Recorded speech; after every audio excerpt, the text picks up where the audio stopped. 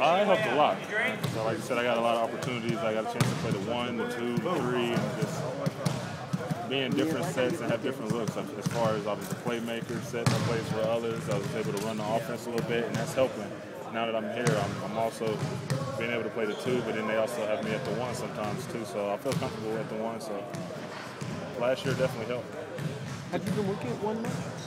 Uh, I worked at it a little bit last year. I played it a little bit with Devin, let him get off the, off the ball and uh, come off on some sets. And uh, Orlando, I started off playing the one when I first got there. And so now I'm, I'm playing a little bit since uh, Kyle Lowry's out, so moving to the one. I feel comfortable with it. So you, today, it was today the first day of the three or four days of practices? Did I play the one? Yeah, oh, did no, you I've been in playing the one every day, every practice. Oh, every practice. Yeah. Good. You feel comfortable with it? Yeah, yeah, I feel comfortable. Our offense is so open and free that you just you penetrate up, you kick it out, and you just spacing, and so it, it's easy.